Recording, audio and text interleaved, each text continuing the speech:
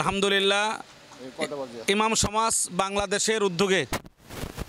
বানবাসী মানুষের জন্য আজকে আমরা তিন দিন যাবৎ আমাদের আমাদের টাক যাচ্ছে দুইটা তিনটা করে। আজকে দুইটা টাক মুফতি মিনহার সাহেব অর্থাৎ কেন্দ্রীয় কমিটির সংগ্রামী সেক্রেটারি এই যে চকবাজার শাহী মসজিদের খতিব ওনার নেতৃত্বে বংশাল জোন ইমামরা এবং কেন্দ্রীয় কমিটি ইমাম সমাজের নেতৃবৃন্দ নিয়ে আমরা এখন রওনা হচ্ছি।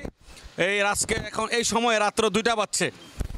এই দুইটার সময় আমাদের ইমাম, মুসল্লি এবং ছাত্র ভাইয়েরা ফেনীর উদ্দেশ্যে এক কঠিন সফরে আমরা যাচ্ছি। দেশবাসীর কাছে দোয়া চাই।